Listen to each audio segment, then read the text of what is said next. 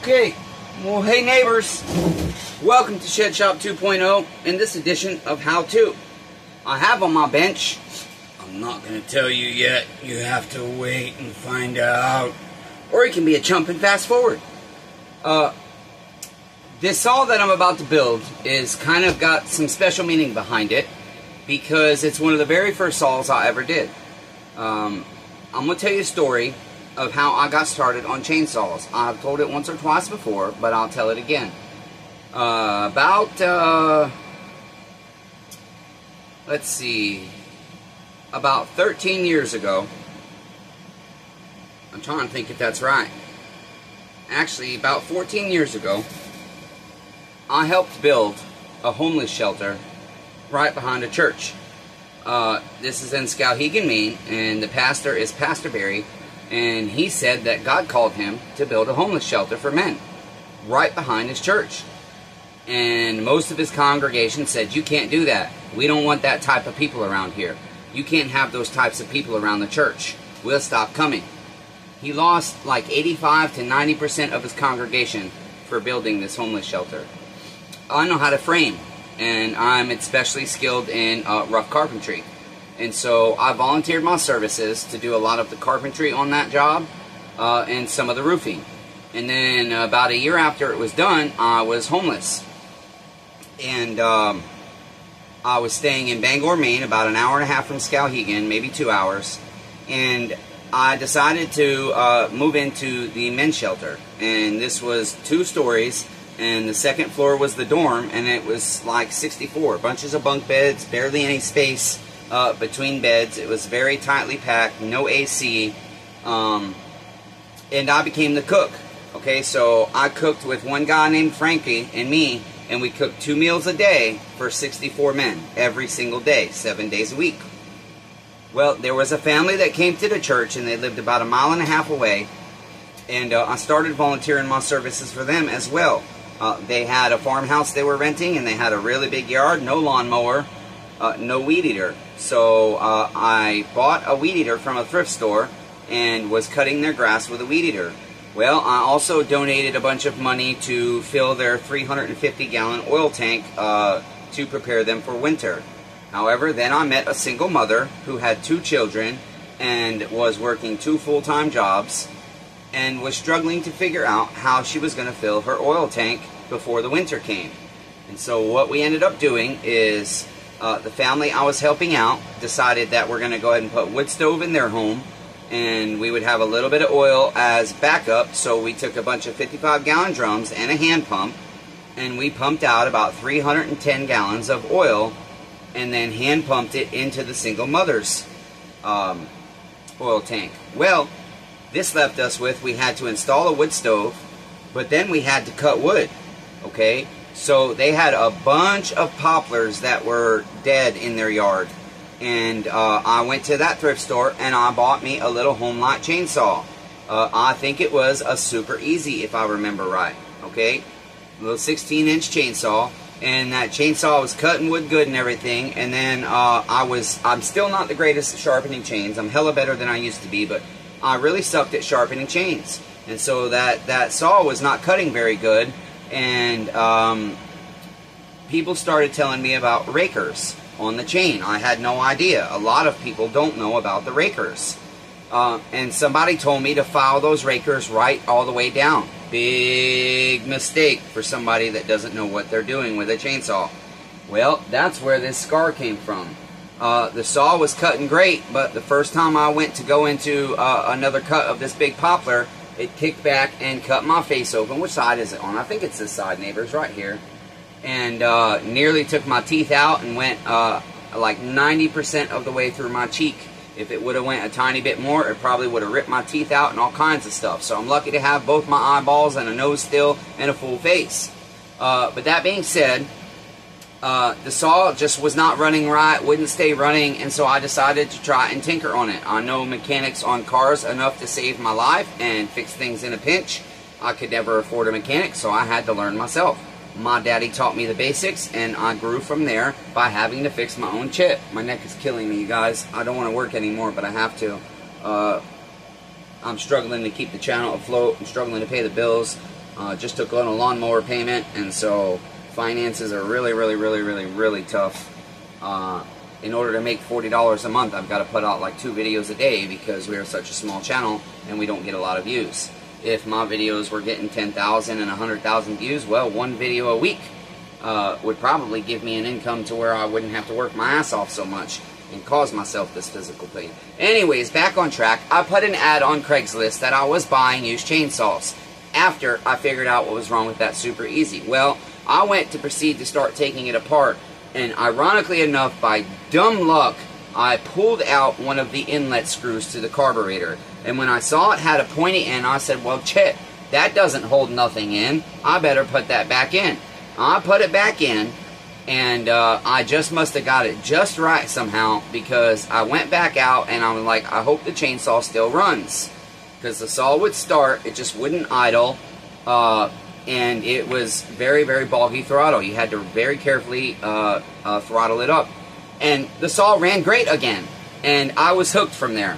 I started uh, tearing apart saws. I bought a bunch of saws from the thrift store uh, and, and started tinkering with them. And this guy, Jim, responded to my ad, and he asked me, do you work on saws? And I said, well, neighbor, I, I, I work on them to sell them, and for myself, I've just started learning how, and I'm self-taught and he asked me, do you have any MS200Ts? And I said, no, I don't even know what that is. Well, that's when I learned that the 200T was the holy grail for climbers.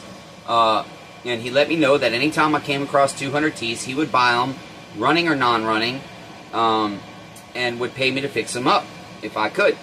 Well, he had a Husqvarna 346 XP, and the other model neighbor was what's on my bench. I'm not going to tell you yet. And he asked me if I wanted to buy them and or if I would fix them, and I said, "Well, neighbor, this is this is what I could pay for them," and uh, he didn't want to sell them at that price, and so uh, we came to an agreement. I said, "Well, I'll tell you what, if you're willing to pay for the parts, I will try to fix them, but please understand, I don't know what I'm doing, and uh, I won't charge you any labor. Uh, the the my earnings will be the experience." And he said, okay. Well, his 346 XP, uh, I don't remember what we had to do with that, but I think we might have put a new motor on it. We might not have. But the other model, which is on my bench, had to have a new motor. And I told him this is how much an OEM one cost, but I found these really cheap ones online, and this is how much they cost. And so that's when I started my experience with Chino Motors. I bought a little $30 Chino motor um, and I rebuilt his two saws and gave them back to him. And he called me one day and told me that this saw that's on my bench, he said, it sucks. It doesn't have half the power it used to. What's the problem? I said, well, neighbor, it might be that motor. Would you like to buy an OEM motor? And I'll return the other one, and we can put the OEM motor on and see if that's the issue. He elected yes. So we bought an OEM motor, put it on this Husqvarna saw, and he was happy. From there, he became my greatest customer. Um, he bought probably three dozen 200Ts from me throughout the years before I got run over.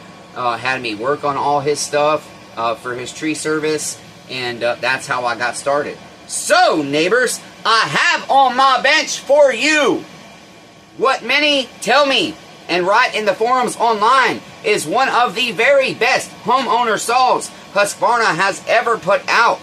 The reason you do not find a lot of them on the market is not because they're rare, but because apparently they don't break down. Y'all like to guess what the hell it is? Go ahead and comment real quick, and then when I'll turn you down to the bench, you can find out if you're right or not. And then you can go down and comment on your comment, I was wrong or I was right. This Husqvarna chainsaw is a mid-range chainsaw that would more be considered, in my opinion, a farm saw or a ranch saw, but would be great for the homeowner and is also used by several professionals. I'm gonna turn you down to the bench and we're gonna get to work, damn it, neighbors! Oh, by the way, Grady might, might be buying this saw. He wants it. We'll see what happens. Here we are, neighbors. Here's our Husqvarna 359 neighbors. Okay, so real quick what we're going to do, I don't know how far we'll get because I'm hurting like hell and I need to go relax. Plus, I need to edit footage for you guys. And I need to list some saws online. We've got an 025 that's rebuilt we need to list. Uh, we've got a uh, Stihl 026 rebuilt we need to list. And we've got a Stihl 028 rebuilt we need to list. And we've got an 036 that we need to make a draft for so that when we get our final part in for that, uh, we can test it. And if it's running, we can list it quickly. So the first thing I want to do is uh, the piston to this thing came up missing for like six months uh, when Dion was here. Not quite six months, probably three months. But it had been sitting in a box disassembled for several months before I washed it. I took this saw in on trade because the guy had a bunch of saws and he paid his bill partially with his saws. Uh, some of his saws. So our piston's in good shape. Obviously, I need to clean it still. But I finally found the piston one day. And now that Grady is wanting uh, another Husqvarna saw, I've got a 55 and this 359, and I figure I might as well build it. That way Grady can come over and we can play with this saw, and hopefully he'll buy it. Okay, so to check our ring gap, I'm just going to take our ring off our piston, and I think this is a 49 mil. I can't remember, but if it needs a new ring and it's a 49 mil, I believe I have them inside. So let's check this ring gap here. Just going to put our ring in, our cylinder here if I can. Struggling a little bit. Okay, I don't want to scratch the cylinder up. And we're going to try and get this in a spot. Damn it. This is my life, neighbors. This is what I go through all day, every day. All day, every day. It never fucking fails. Everything is a nightmare.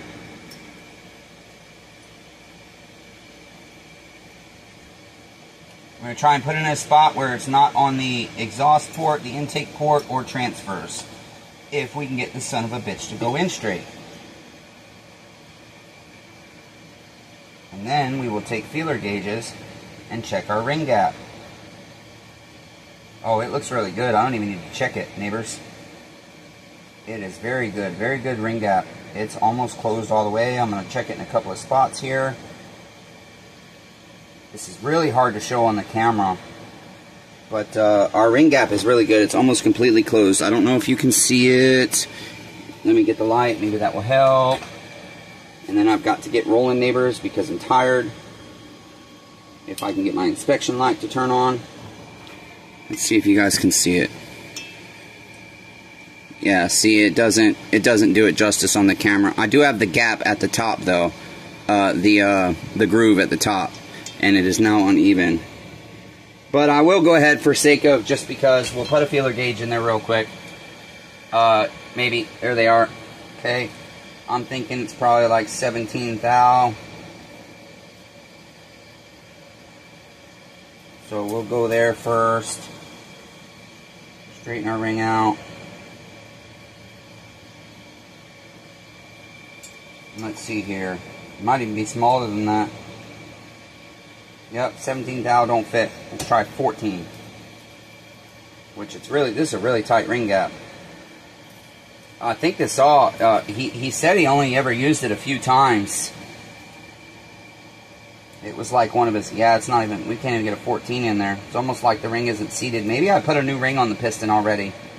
Uh, because that is really tight. But nonetheless, I'm not going to go any lower for sake of time. We know that's low enough. And so right here we have 359. This is a 59cc saw. That's why I say it's more like a farm saw or a rancher saw because it's almost 60 cc. I'm going to clean this piston up real quick. Okay, amazing what some brake parts cleaner and 600 grit uh, sandpaper will do. I've got my clips already in this, so obviously I will have to remove one. Let's see here. This one's about the same either side. Which one will be easier to get in? Uh, and we have to check our squish. I do have the base gasket. I could probably reuse it with some uh, dressing, but I want to see if we can do base gasket delete. And we are definitely at some point, well, sorry about the air compressor. We are definitely at some point to gut this muffler and probably dual pipe it. Dual port it with uh, a pipe, half inch pipe. Okay, so next thing I want to do is check my squish. I'm to leave my ring off. I've got my bearing right here. Sorry about the air compressor, neighbors. It is what it is. Don't know what that's to. Must be for uh, our AV spring or something. And uh, we'll definitely have to check this off for air leaks because it has a decom valve and those uh, tend to leak. Okay, so I'm going to oil my bearing. before I put it in here on the inside. And we've got a little hole. I'm going to oil the bearing a little more. Too much, too much oil is better, not enough. We want to give it a good start to its next life. Okay, there we go. And we'll go ahead and put our piston on. Let's do some switcherooskies here.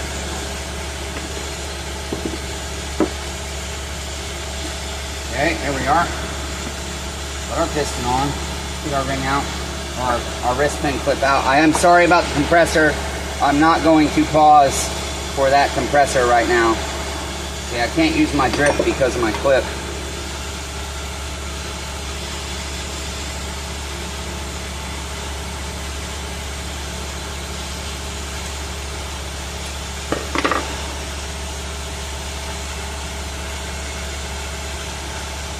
Here we are. You can still see our arrow. So arrow toward the exhaust.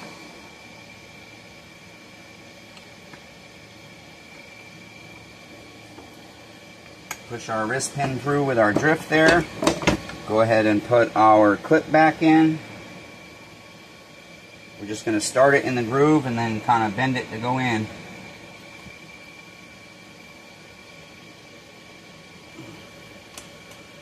We are. That's in good.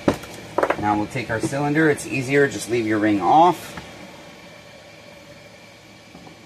Put our cylinder on there. Uh, we will put a couple of bolts. Did you neighbor see what I just did with the cylinder bolts? Here they are. We'll put a couple of bolts in there. We just need two for this uh, application here. So we'll put one right here.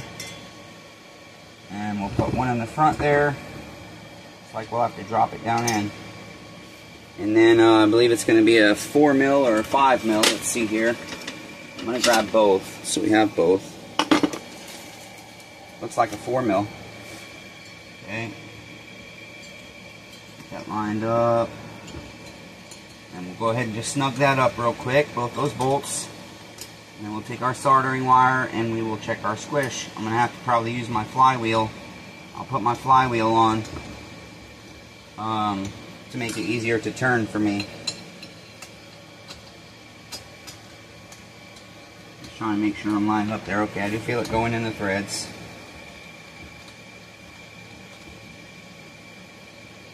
Yep, because Grady's had me do most of his mufflers on his chainsaws. Uh, he likes his mufflers to be opened right up. And, uh, you know, he's been doing research on some saws. He just wants another mid-range saw. It's a little bit more powerful than what he was looking for, but I want to get this in the 55 together for him. That way he can come over and we can cut some wood. Might even take down this black walnut I have. Uh, and he can decide which saw he wants. Okay, so make sure my flywheel key is not sheared. It is not. Line that up with the groove on the crankshaft. Get our washer on. Uh, the, the nut has to go a specific way. You can see it's got a little lip there to go down inside the washer. Okay.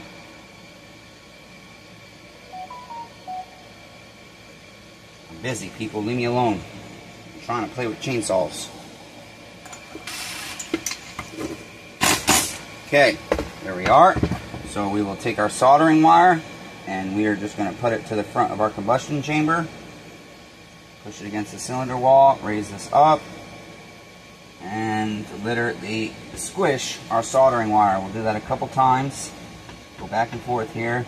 And I can already tell by the feel of it, we're going to be able to leave that base gasket out. I think we're probably going to have like a, a 22 or 23 thou squish, it feels like. Let's see if I, I'm way off or if I'm even close. Oh, I got to put it on inches.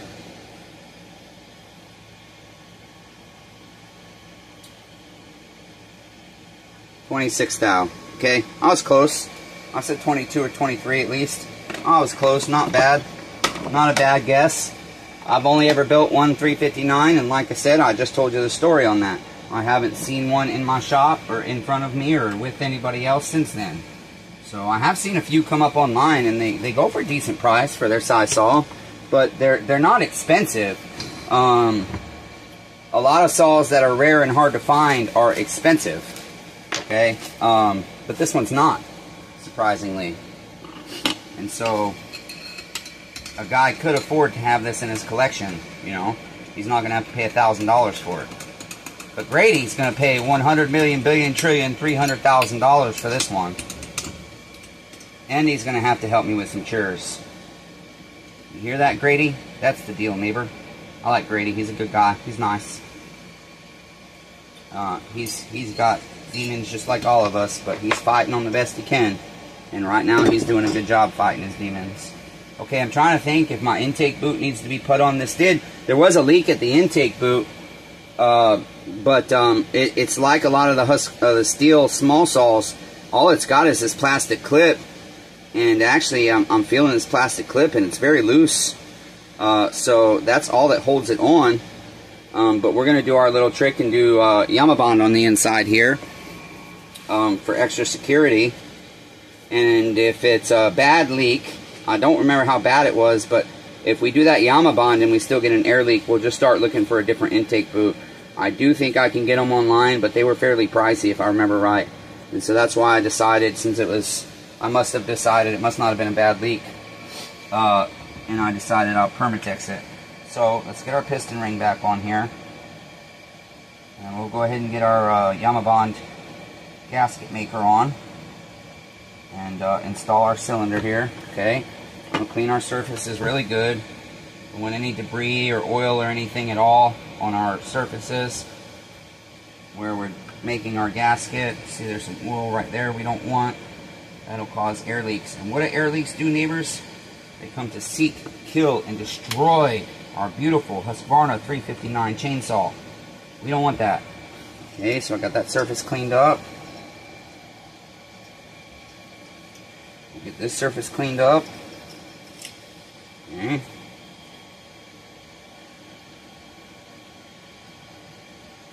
Alright, there we are. Okay. Whoops.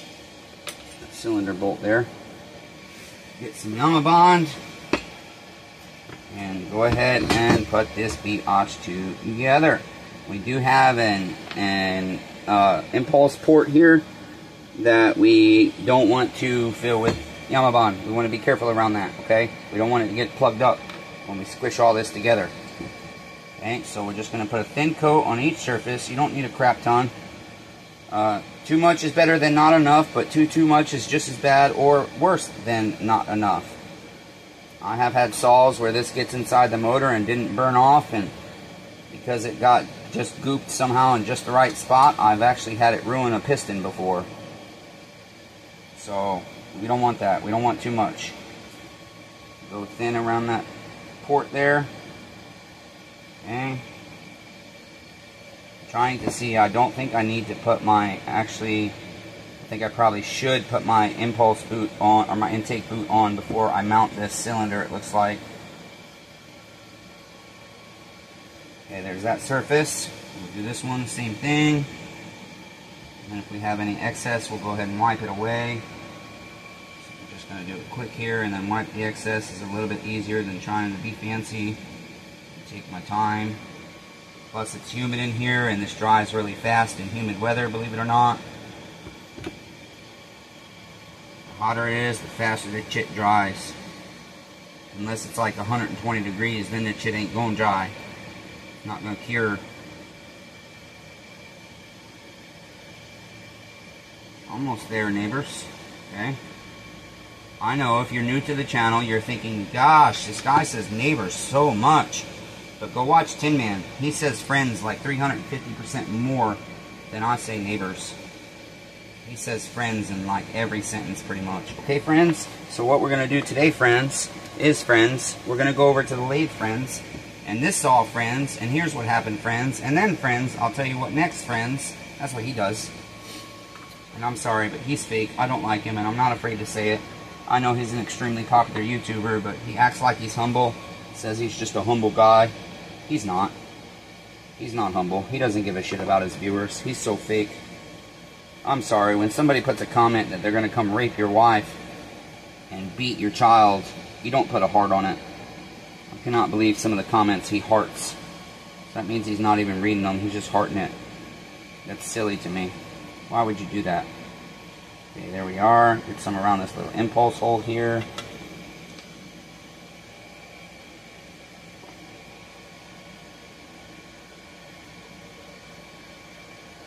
Get that excess off. That hole. A little bit more on the bottom surface there. Be kind of hard to get this stuff on in these, but I do this with a lot of intake boots, just extra security, and it, it, it won't cure to the rubber itself, so it kind of just stays moist and acts as kind of its own rubber gasket as well. So it's almost like putting a rubber grommet in there. Okay, so that goes on our cylinder like so. Maybe. Have to go on because you're drying. Okay. Oh, oh, I'm trying to close the clip and I shouldn't be. Should have it open. There we go. Okay. Looks good. Close that clip, maybe. Now I can't get the clip closed, neighbors.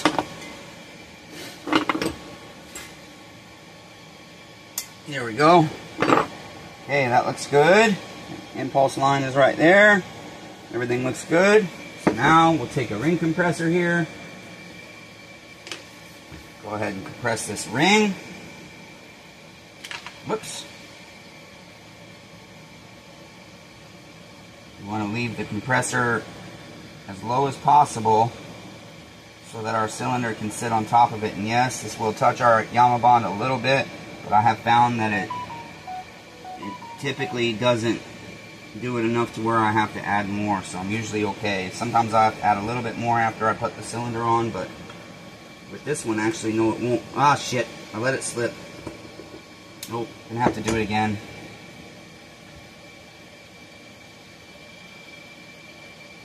I let it slip. Okay, try this again.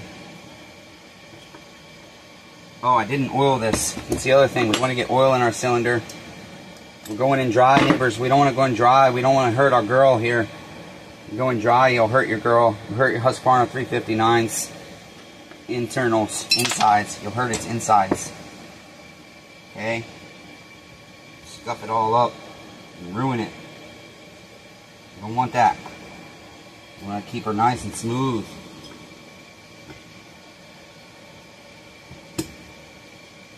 Okay, there we go. Excellent. Get our compressor out of the way down here. That is exactly why it's not a full circle. Slide it right off. Normally you'd use what is called a piston block, but uh, when you have Permatex, you don't use that. Okay, there we are. Line everything up. Looks good, neighbors. Let's go ahead and get some screws in it. And then we'll look at what we're going to go ahead and do next. I'm not doing anything with the muffler yet. I want to get the saw running first because I like to see the differences. Now I didn't do the gasket to see the difference, but that's because uh, it's a little bit more work to take the top end off than it is a muffler. Okay, so that. This one we're going to have to use some pliers on to sneak it down in there. Her down in her hole. Okay, there we go. Just want to get that started, and I'll move to this front one. Corner to corner here. The first one, I'm just letting them uh, seat down just until I feel it touch the seat. Well, if we can get in the bolt itself, I've lost it here. There we go.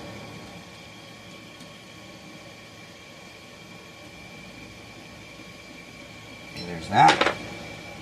That one bottomed out. Get this one started here.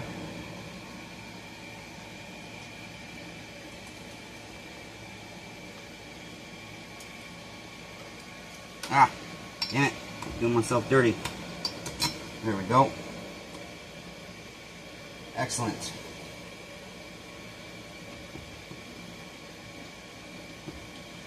Okay, keep this one down.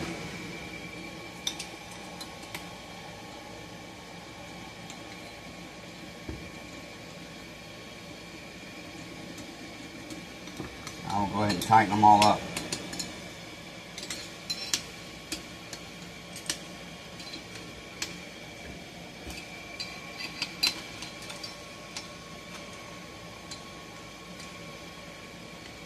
Can't get it in the hole, neighbors. story of my life. I haven't had a hole to get it in since 2011. Probably why I'm so angry all the time, you guys. Genesis 2.18 says, It is not good that man should be alone. I shall make an help meet for him. And that scripture is partly why some of my neighbors either hate Jesus now or just don't believe in him. They believe there's a higher being, but that it's not Jesus because he has taken their, their longtime spouse away to various forms of death, one including cancer. One of my subscribers lost his wife to cancer. Uh, I know another one has lost uh, his wife to other sickness. Another one has lost his wife to a car accident. And I think we even have some female subscribers that have lost a husband. Um, yeah, a lot of people that causes them to lose their faith. And I could understand why. Honestly, I can. So, there's that. Okay, we got our flywheel on. So, I suppose we can go ahead and put our coil on next. Got my coil here with my wires. Let's see here. Uh, I believe this end will be our switch.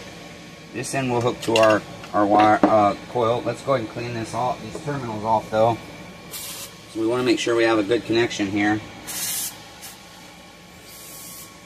There we are. It's a little butter. Okay, so we will connect that to our coil here, like so. Oh, well, did I grab the wrong end? Looks like I did. Let's see here. Let's see, let's see. You go down there. Okay, and then this one will go on one of our bolts here. I am presuming it's going to be the back one. Okay. I thought there would be a shield. There it is. This piece here is going to route our wires. Let's go ahead and get our coil bolted down here. Get our air gap set. I still can't find my damn tool I like to use for my 20 thou air gap. I'm hoping it's in one of my bins from when I was working on saws in town while I was trying to sell saws a few weeks back. I might have taken it with me. Okay, go ahead and get that in there. And let's get it started. I've got my 4 mil in my uh, drill here already. But I got a dirty bolt head. Apparently I didn't do a very good job cleaning this bolt head. Can't remember if I cleaned this all or if Dion did. Can't recollect. I think Dion did because the piston disappeared. He had it mixed in with another saw. Okay, here we are. And I'm using Loctite because this is a 59cc saw, older saw. So we don't want our bolts to bite, bite, bite, blah. That's all, folks. We don't want our bolts to vibrate out. That's what I was trying to say, and this wire is actually in our way. Let's get our coil bolted down first, and then we'll put that other wire on. Whoops, messed up here. We'll turn that this way. There we go. That's butter. I didn't like the way that was going in. It was crooked. Okay, we'll grab a business card here for our 20 thou air gap. We can't find our damn tool. There's that. We will turn it to our, our north and south poles, our magnet. All the way over here. There we go. And then we will go ahead and tighten these down. I'll do that. And then I'll take my hand turner here and finish them off. I like it, feels good. Plug that wire up, and we can put this uh, fan in here. There's actually an air mover I need to put in. Let's see, these go, um, I'm trying to remember. Boy, it's been so long since I took this damn saw apart. Let's see here. I believe this goes gonna, yeah, that's gonna go like so. So let's get this bolt out. They must go together because I had them together. So, this one will go like so. And does this go over it or does it end up going over here? Uh, I'm very sorry, neighbors. I don't honestly know. I've, I've forgotten since I put this all together. Uh, da, da, da, Let me look at the back of my recoil and see if that gives us any clues. It does not. Does not. No clues, no clues. Let's see, there's two little pins, it looks like. I don't see nothing here where it would go. Uh, doesn't look like it would go there. Doesn't look like it would go there. I feel like it's part of this one, but I'll, I'll be, golly, guys, I can't remember. Can't remember. I might have to look up an IPL. I don't see how it would go. It wouldn't fit down in there. Um, I don't think it would go like so. Um, I'll bet you. Nope, that's not right either. Made in Sweden. Okay, I'm going to have to look this part up, unfortunately. So I might end up having to go backwards here on this part a little bit. But for now, we'll go ahead and put this bolt in. Okay. I'm not going to Loctite it because we might have to take it back out. Yeah, I don't think that goes down there with that one. It just doesn't fit. It doesn't seem like it would go there. Okay, so for now, we'll leave that out. This doesn't give us any clues either. Wires, route, spark plug wire routes there. It might go on top of this too. Okay, so, let's see here. Get our wires out of the way. And we'll set this in place. Like so. Our spark plug boot has to be up through there first. Now we'll set this in like so. Put the spark plug boot or the spark plug lead wire in its groove. We want to get this lined up proper. Like so. Okay, now these two wires, they will clip in down here. And then they will run right along this channel. And they have little clips that you can push them into in the groove. Make sure you get the wire in there because that would be catastrophe if one of those wires slips out and snatches up with your recoil. Okay, there's a little hole to feed these wires through. Okay, like so. There's that. And I still am not seeing, I'm just not seeing, you know what, I wonder if this is a chip guard. I'll bet you. Nope, it doesn't seem to be a chip guard either. Not a chip guard. I'm baffled. I cannot recollect where this damn thing came off from. I cannot recollect. I mean, unless it goes down in there somewhere like this, but it doesn't seem to be that, that that's the case. Uh, we'll figure it out, neighbors. For now, I'm going to go ahead and put my recoil on, but I'm not going to Loctite it, just in case we have to go backwards right there. I just have to try to remember that I did not um, I did not Loctite my recoil bolts or screws. Okay.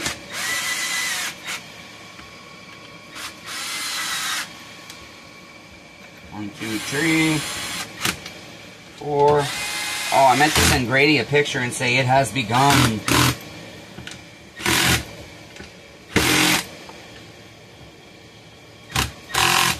Okay, there's that. Now, put our spark plug in here. Uh, I want to use some anti-seize because this is actually the spark plug that came out of it. So this saw is not used very much, it doesn't seem. Uh, Ted Neitzel, thank you Ted Neitzel. I used to Loctite on spark plugs um, for my local saws. I wouldn't do it on ones that I was sending out, but because uh, they're really technically, this is called a crush washer, and technically, technically, by the spark plug manufacturer, you're only supposed to install these once, okay, technically.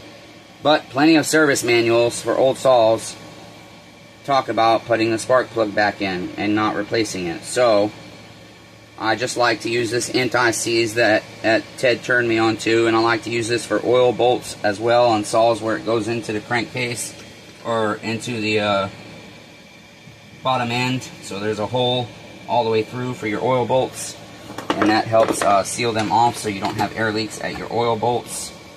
So thank you, Ted Neitzel. I always appreciate when you guys share your tips and tricks with me. Some of them I, I've used, some of them I have not, okay? Now, since I am not yet going to do anything with the muffler, I believe we could go ahead and put it on. We've got our muffler and our felling spike here. Uh, let's see, I don't see a muffler gasket, however. This may not have had one, and I do not believe I have one that size. So if we do need a muffler gasket, we'll have to order one. Trying to see which way this goes. Not go that way. Okay, that looks correct right there. So it goes this way with our muffler that way. I don't believe I have this gasket. I just don't think I do. Okay. We are to uh, let's clean the head of this bolt real quick. We don't have issues. There's that one. That one. That one. Actually, it looks like those are the two mounting bolts. It will be 5 mil, and that makes more sense. Yes, it's these these M6s are our mounting bolts. So that will go in there. There. So here's our our 5 mil. That one through there. I'm gonna check real quick if I have a gasket for this because it really should have one. Does not appear we will have one for this particular model, model but uh, this is to be the last part of the uh, video. Um, for sake of time, it's a lot easier to edit a 25 minute video than it is a one hour video. Also, it's a lot easier to get you guys, keep you guys' attention uh, with shorter videos. And so I've been trying to work on uh, doing my builds in sections. So, um, tighten these down. Okay, and that's going to be it for part one of the Husqvarna 359 reassembly. I hope you guys enjoyed the video. If so, please go ahead and hit the thumbs up. If you didn't, go ahead and hit the thumbs up to support the channel anyways. Um, comment down below what you guys think and subscribe to the channel and consider becoming a member for just $3.99 a month or $7.99 a month because guess what?